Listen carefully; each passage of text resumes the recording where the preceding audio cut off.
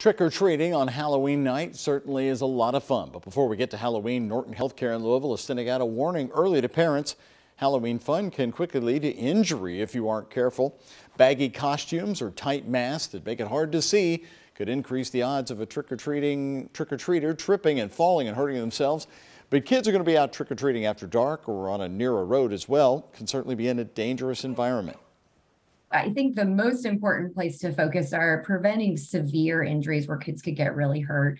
And one of the big ones on Halloween is just the proximity of trick or treaters to traffic. So just making sure, particularly after dark, if kids are wearing dark um, costumes or costumes without reflect reflective uh, areas pieces on them um, it can just be really hard for cars to see Norton Healthcare says it's always a great idea to bring a flashlight. Great idea for sure when trick-or-treating or even just putting something reflective on your child's costume to make sure cars can clearly see them.